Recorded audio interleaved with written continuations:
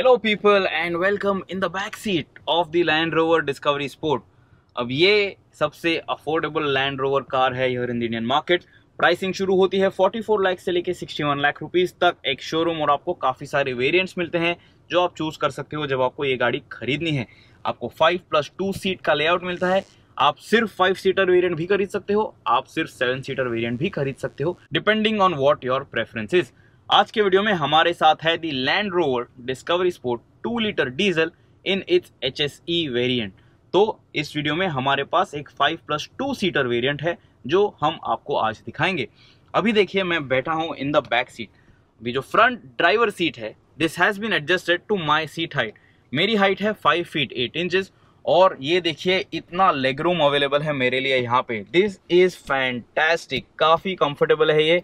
और मुझे कोई भी दिक्कत नहीं है in the leg room in the foot room and knee room area at all under thigh support की अगर बात करेंगे तो ये देखिए मेरे थाइज अच्छे से रेस्ट हो रहे हैं यहाँ पे. I am not really forcing my legs to you know rest on the seat तो आपको डिसेंट थाई सपोर्ट भी मिलने वाला है जब आप इस गाड़ी के बैक सीट में बैठने वाले हो. काफ़ी लोग ये सारी एस खरीद रहे हैं to be use as a chauffeur driven car और उस हिसाब से यहाँ पे in this car there is a good amount of space for you to feel comfortable and also feel that you are in a luxury car seats are leather wrap, काफ़ी अच्छा compound है perforated leather दिया गया है आपको। Centre में यहाँ पे एक आमरेस्ट है, ये आमरेस्ट आप ओपन करके यहाँ पे थोड़ी चीज़ें रख सकते हो।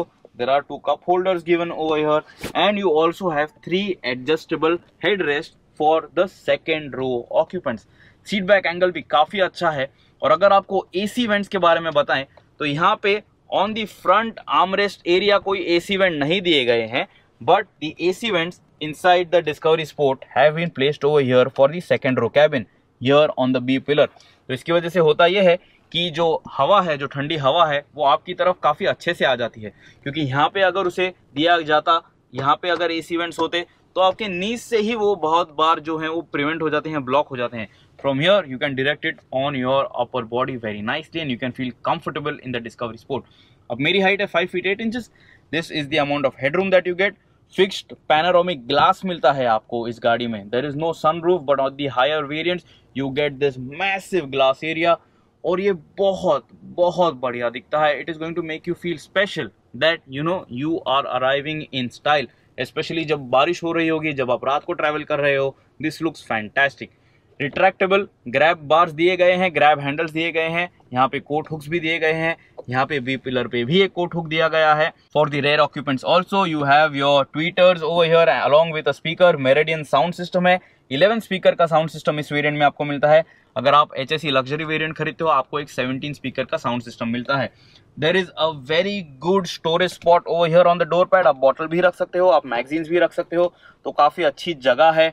To you know make the car a lot more practical front seat back के पीछे आपको ये पॉकेट्स मिलते हैं. This net you get to you know park your newspapers और मैगजीन्स तो आप वहाँ पे भी थोड़ी चीज़ें स्टोर कर सकती हो. एक और चीज़ मुझे आपको दिखानी है it is over here on this armrest behind this armrest यहाँ पे आपको एक पावर पॉइंट दिया गया है. यहाँ पे एक स्टोरेज स्पॉट है तो शायद आप अपना फ़ोन यहाँ पे रख सकोगे just in case you want to park it over there लेकिन सच में, ये जो डिस्कवरी स्पॉट है it is very nice it is quite practical अब जब आपको सीट बैक एंगल और रिलैक्स चाहिए होगा तो ये जो एंगल है, वो और रिलैक्स हो सकता है। This does have adjustment this does have a reclining setting तो इतनी रिक्लाइन हो जाती है ये seat back in the Discovery Sport अगर आपको वेरिएशन देखना है, अगर आपको रेंज देखना है तो ये देखिए यहाँ से आप नोटिस कर सकते हो। This is at its most relax position this is at its most upright position in the Discovery Sport लेकिन अब काफ़ी लोग ये सोच रहे होंगे कि ये एक फाइव प्लस टू सीटर है।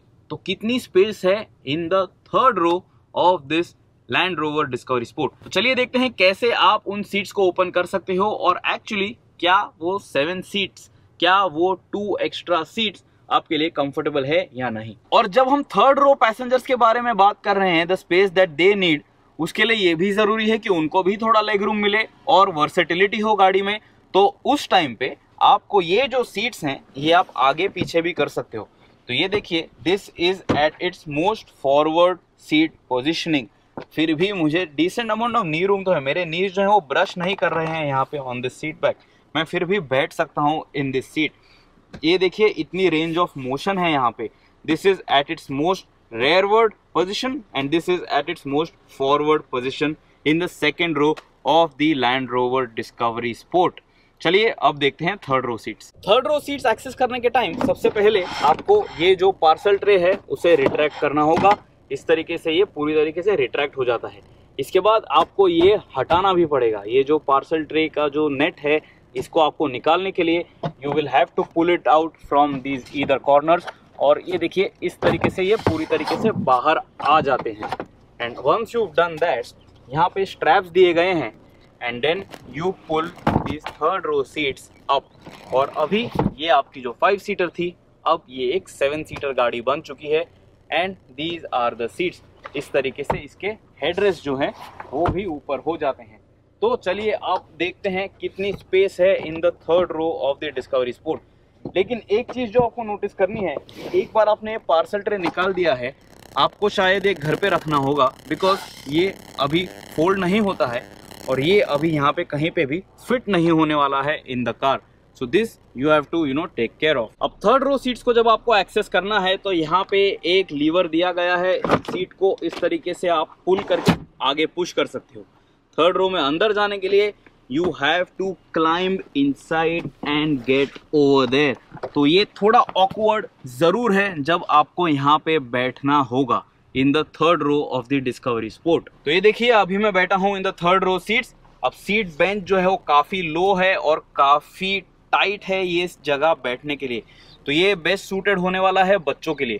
क्योंकि अगर आप एक एडल्ट हो, आपकी knees are going to be pointing upwards and this is not going to be comfortable in the long run अभी मैं ये जो सीट है, वो पीछे करके आपको दिखाता हूँ। ये देखिए, इतनी स्पेस आपको मिलेगी। अभी ये सीट जो है it is at its forward most position और ये जो है सीट बैक ये भी रिक्लाइन नहीं है। ये और भी रिक्लाइन होगा और ये सीट जो है वो और भी पीछे आ सकती है। बट आई एम श्योर जब आप सात लोग गाड़ी में ट्रैवल करोगे you will be considerate about each other कि थोड़ा बहुत जगह जो है वो आप एक दूसरे को यहाँ पे दे दोगे। थर्ड रो सीट्स में भी आपको ए सी वेंट्स मिलते हैं। यहाँ पे ए सी वेंट दिया गया है, यहाँ पे इसका कंट्रोल दिया गया है इंडिविजुअली तो यहाँ से आप फ़ैन स्पीड जो है वो भी एडजस्ट कर सकते हो।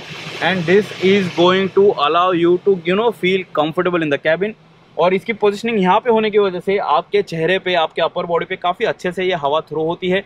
So you will really be happy and at peace of course थोड़ी टाइट है ये जगह, लेकिन यहाँ पे थोड़ी लाइट आ जाती है फ्रॉम दिस क्वार्टर ग्लास तो आपको ज़्यादा क्लोस्ट्रोफोबिक फील नहीं होगा। कप होल्डर्स यहाँ पे भी दिए गए हैं। दोनों ही रेयर ऑक्यूपेंट्स के लिए यहाँ पे देखिए आप कप होल्डर दिए गए हैं। तो आपको अगर आपके साथ अपने कोई ड्रिंक्स कैरी करने हैं तो वो यहाँ पे रख सकते हो।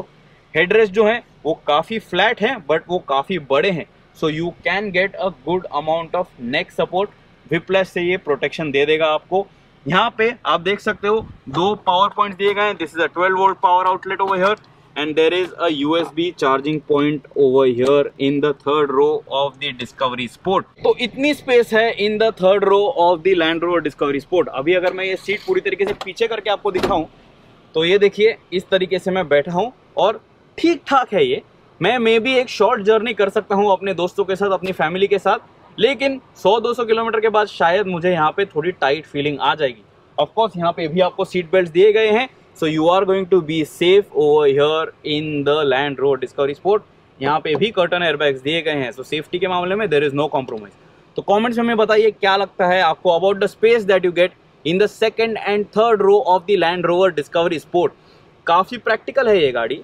And this space is not bad at all it is actually quite acceptable और ये जो सेकेंड रो है जस्ट बिकॉज़ यहाँ पे आपको रिक्लाइनिंग असिस्ट मिलता है रिक्लाइनिंग रेंज ऑफ़ मोशन मिलता है फॉरवर्ड एंड बैकवर्ड मोशन भी मिलता है मूवमेंट मिलता है, उसकी वजह से आप थर्ड रो पैसेंजर्स के लिए थोड़ी extra space you know you can leave out for them to be comfortable so let me know if you like the Land Rover Discovery Sport क्या आप ये खरीदोगे, क्या आपको ये पसंद आती है?